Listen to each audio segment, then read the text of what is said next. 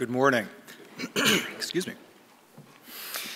One of the joys of being part of this community is that frequently each summer, people from other congregations, other parts of town, or frankly even other parts of the country come visiting us.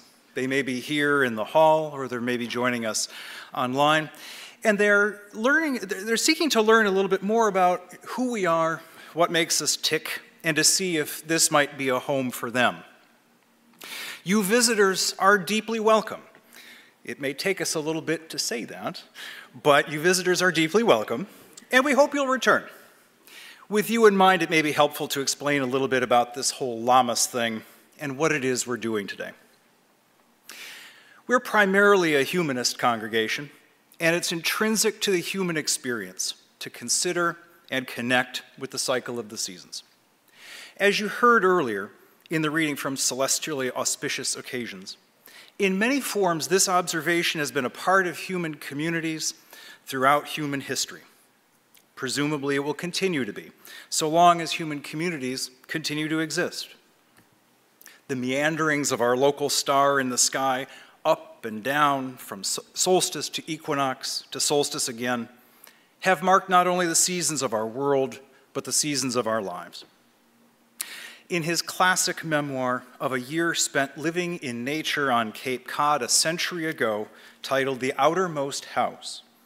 Writer Henry Beston spoke eloquently for many of us when he wrote, All these autumn weeks, I have watched the great disk going south along the horizon of the moorlands beyond the marsh, now sinking behind this field, now behind this leafless tree, now behind this sedgy hillock dappled with the snow. We lose a great deal, he wrote, when we lose this sense and feeling for the sun. When all has been said, the adventure of the sun is the great natural drama by which we live, and not to have joy in it and awe of it, not to share in it, is to close a dull door on nature's sustaining and poetic spirit. Here at FUS, we have a long tradition of marking the solstices and equinoxes, and for at least the past decade or so, we have also created for ourselves a tradition of marking one of what are called the cross quarter days, the halfway points between the equinoxes and solstices. Three of these four days have passed into current culture under other names and other disguises Halloween, Groundhog's Day, May Day. Lammas is the one that tends to be forgotten. It's the midpoint between the summer solstice and the fall equinox. In agricultural societies, Lammas marks the beginning of the turn from tending crops to harvesting them. In Western culture, the emphasis at Lammas tends to be on grains, and in particular, wheat. This point in the season cycle is often marked with rituals involving bread. Indeed, the name Lammas is understood to be derived from the term loaf mass, as in loaf of bread. This has certainly been our tradition, and we're grateful for the volunteers who are downstairs right now baking bread for us to enjoy later. More on that to come. Over the years, we've explored themes like the role of bread in bringing people together in community, including through the ritual of communion we've reflected on the role of wheat and baking in the birth and growth of Minneapolis, the home of Pillsbury and General Mills. Last year, sadly, we reflected on the impact of Russia's war against Ukraine on the wheat harvests and on global hunger. Even more sadly, that particular story remains in the news a year later. Some folks have wondered how we find different ways to talk about wheat, bread, baking, and the like from year to year. But really, the ideas of bread and grains, like the experience of the cycle of the seasons, is in essence inextricably woven into the fabric of the human experience itself. A theme always emerges. But whatever the year's particular take on Lammas may be, we find within it reason to celebrate and to be thankful. Our ancestors used the occasion as one for celebration as well.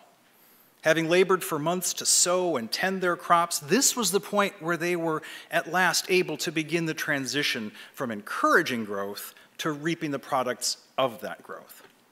And of course, we know that absolutely critical to that growth was copious sunshine, the light of the same sun, which has been such a central feature of humanity's existence since time immemorial.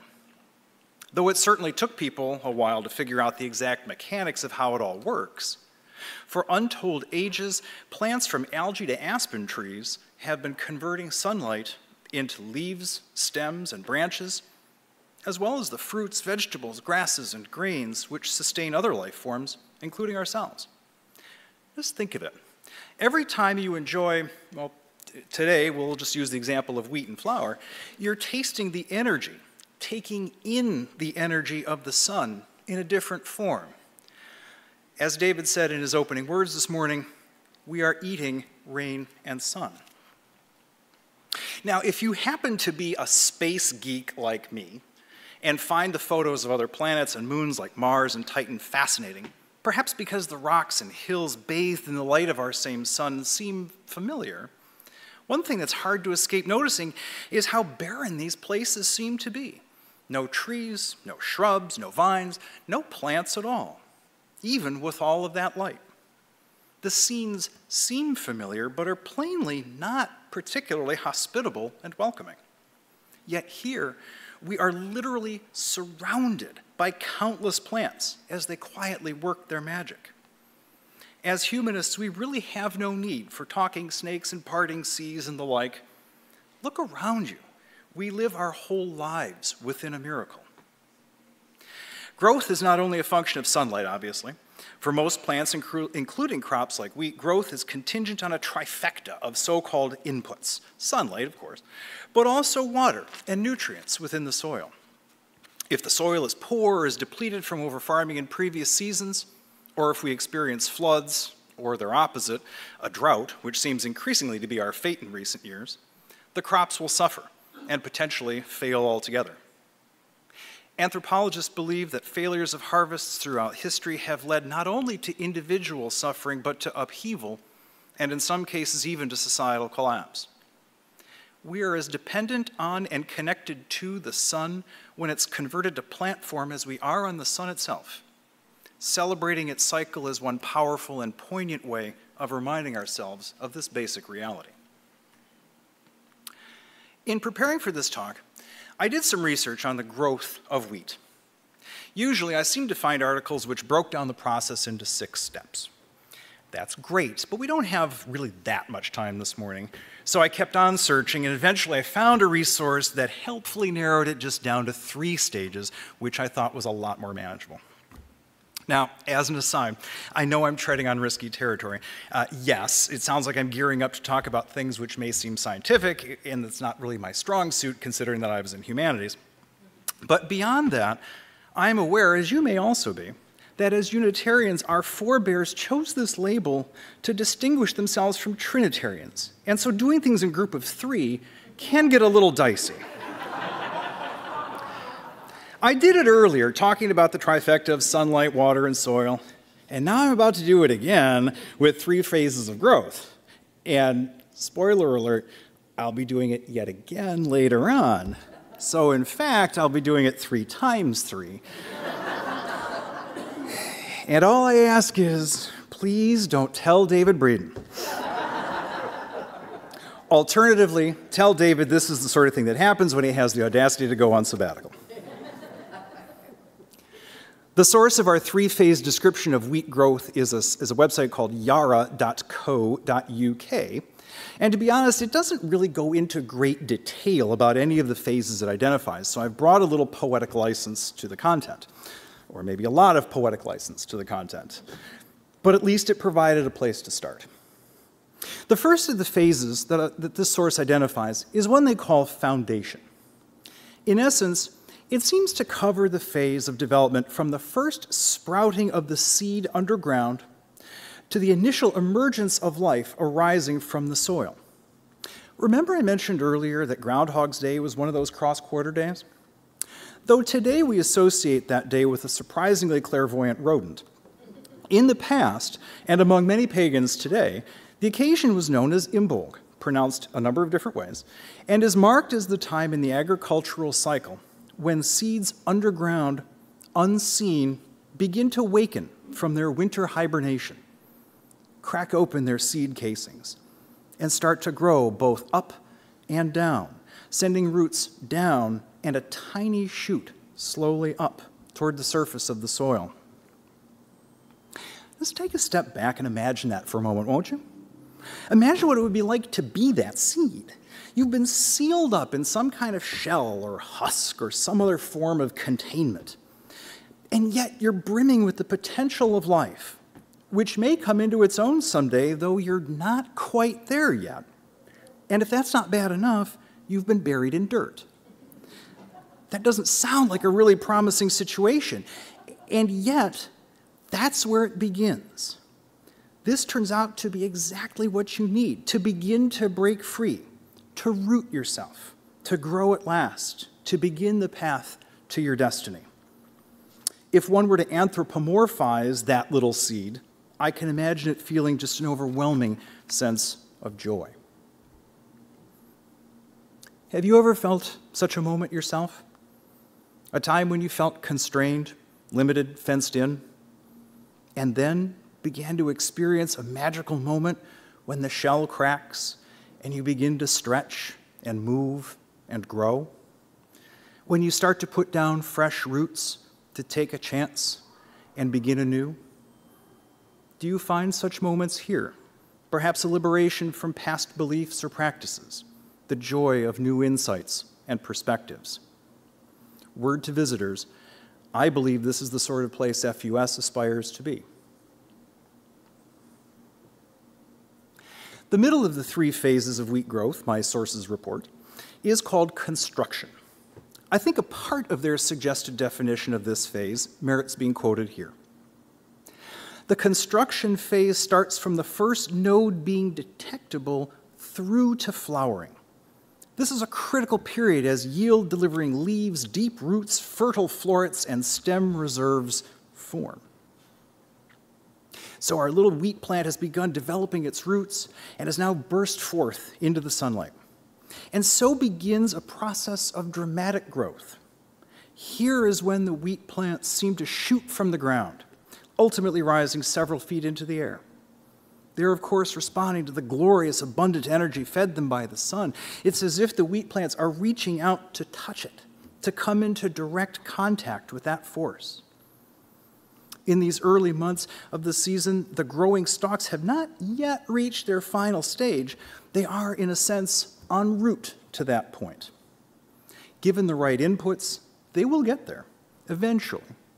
But this is a time when you might think of them in aspiring mode. To again assign them human emotions, the plants seem to be reaching for something just beyond their grasp, as if in a spirit of hope for success.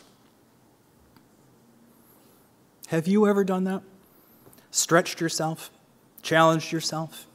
Reached for some goal in a way that made you grow as a result?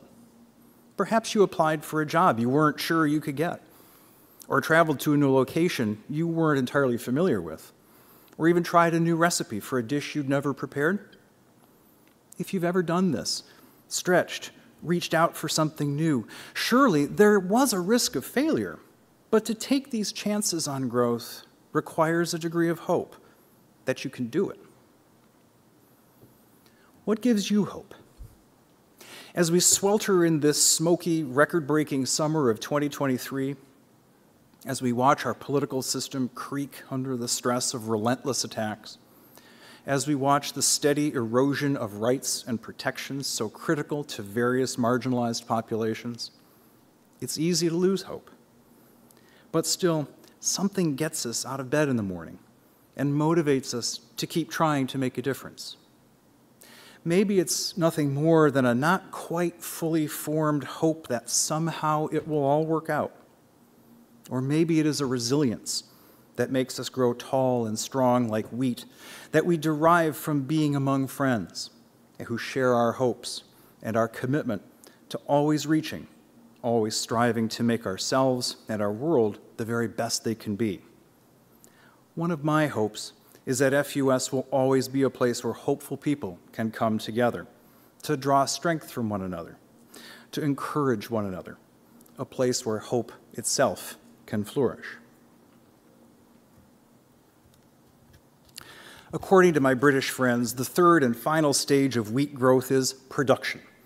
They say that the production phase starts just past flowering, lasting through to the grains filling and ripening. In other words, this is it, the finale.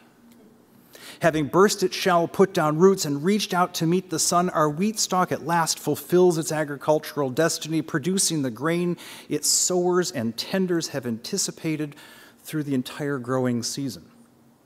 Soon the reapers will come through, cutting the stalks down to be threshed. In other words, to loosen the grain from the stalk itself.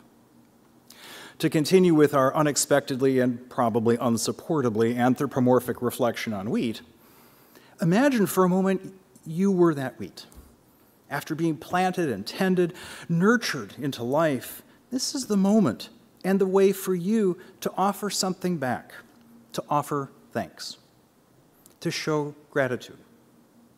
And it wasn't just some sort of mere symbolic expression of gratitude either.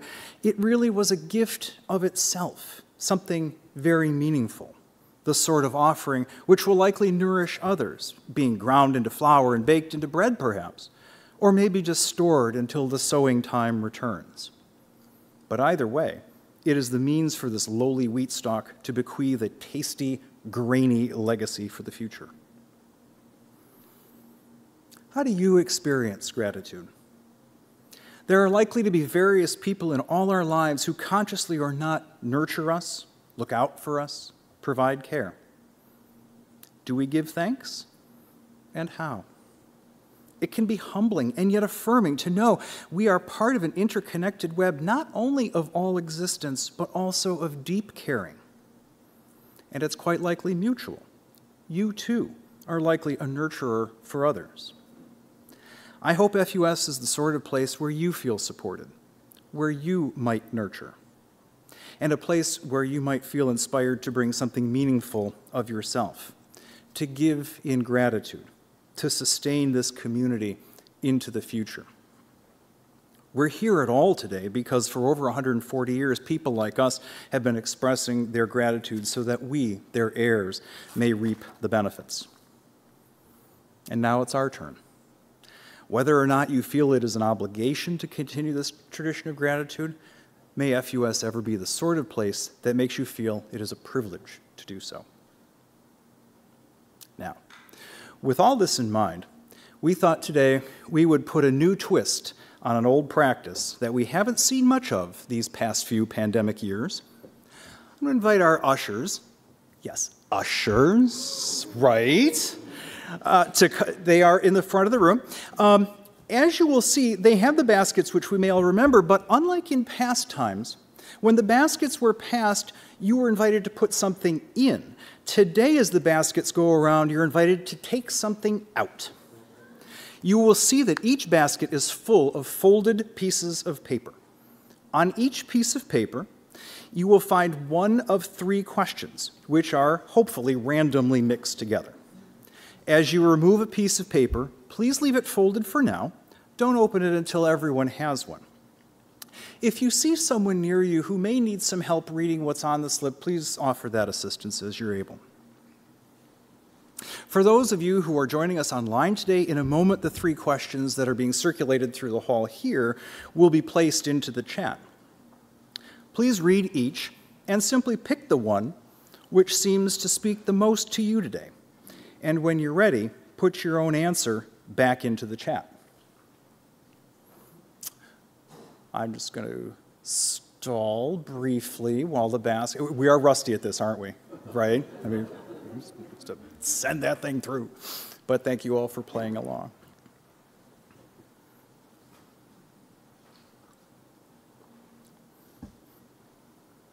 There are a couple of scofflaws who ended up in the balcony today, and so they've, they've been warned that it's all happening down here on the main floor.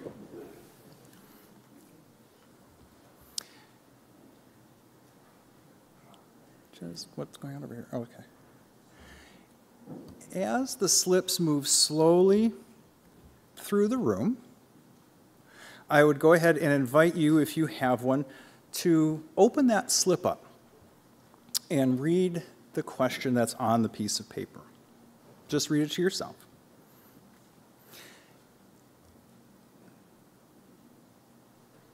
Very good. Yeah, Jane, if maybe you could come on over and help this side of the room over here. Just give it a second. We could have some cocktail music.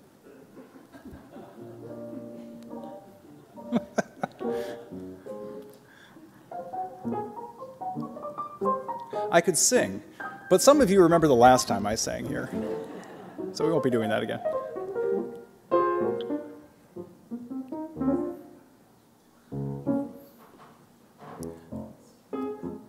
It looks like just about everybody has a piece of paper at this point. So go ahead, as I said, uh, read the question to yourself. And then when you're ready, I invite you to turn to somebody near you and to share the answer that you have to that question.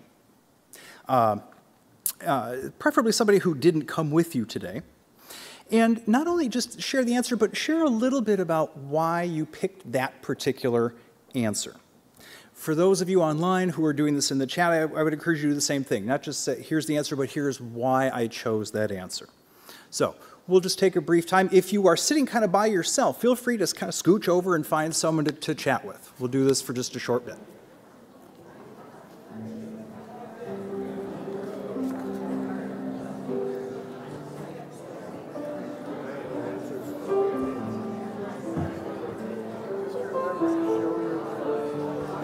It's, it's fine. You don't have to move it.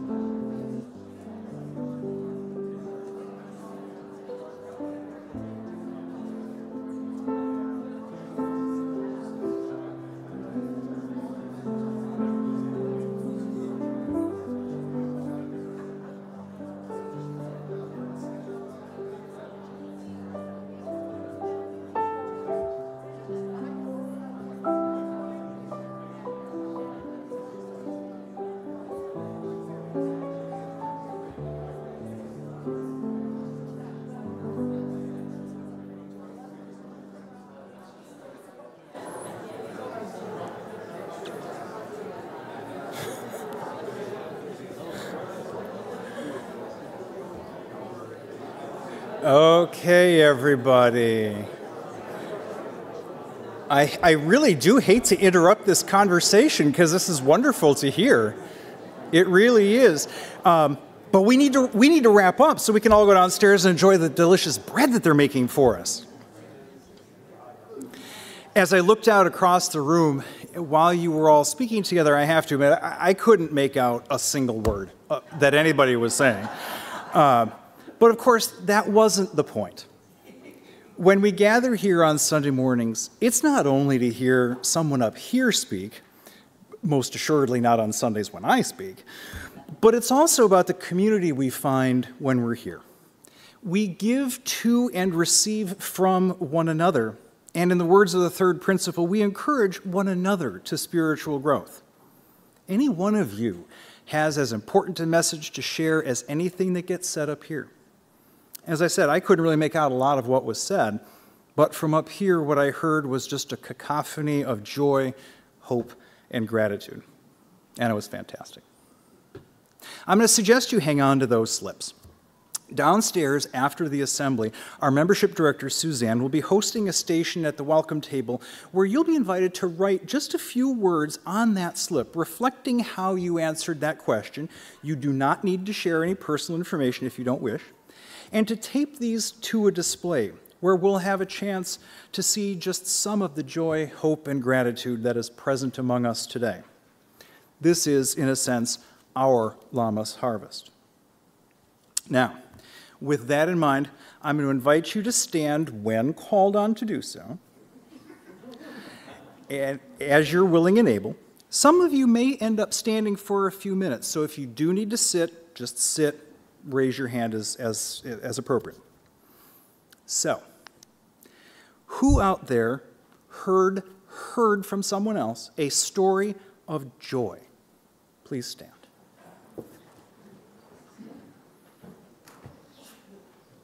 Excellent. For those of you who are standing, please remain standing, okay, as you're able. Who out there heard a note of hopefulness? Please stand. Wonderful. Again, if you're standing and are able, please remain standing. And finally, who was told of an experience of gratitude? Please stand. Thank you. Please remain standing again as you're able. Um, in his poem, As I Walked Out One Evening, W.H. Auden began with these words As I walked out one evening, walking down Bristol Street, the crowds upon the pavement were fields of harvest wheat. Likewise, the crowd before me, you, are a field of harvest wheat. While actual wheat grows when provided with three key resources sunlight, water, soil nutrients, this morning you have stood tall like stalks of wheat because you were provided with something that we find powerful, nurturing, and vital our nutrients joy, hope, gratitude. Just as these may metaphorically relate to the growth of wheat in the field, they more directly relate to our own growth as people, as spiritual people as a congregation. We all know life is not always rainbows and unicorns, and that this is a place where we will also bring our challenges and our griefs. But Lammas is a time when we can remember, too, that this is a place to bring and find the best. May FUS always be a place where you, like wheat, can put down roots, grow, and blossom.